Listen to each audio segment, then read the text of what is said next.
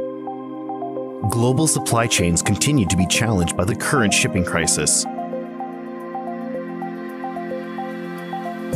Demand for RAD power bikes has accelerated dramatically, but shipping services were restricted due to the global pandemic. Rad bikes needed outside expertise to find a solution for those unmanageable shipping delays, as well as someone who could ensure that the bike's lithium ion batteries were being moved safely. Rad Power Bikes had to think differently.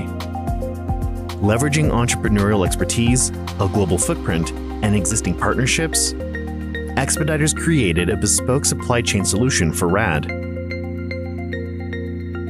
Together, Expeditors and RAD bypassed the bottleneck in traditional liner container services and chartered space on a vessel to bring RAD's bikes to the USA. They secured space for 64 containers of RAD's electronic bikes. A fully optimized container holds over 100 bikes.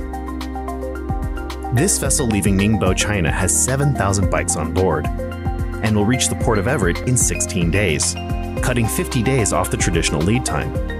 And more importantly, guaranteeing the supply of e bikes to Rad customers. The charter ship arrives at the port of Everett, Washington, and discharges all of RAD's containers within a few hours. The bikes continue to distribution and retail sites nationwide.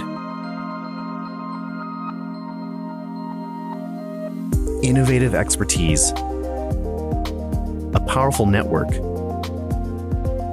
aligned goals and collaboration.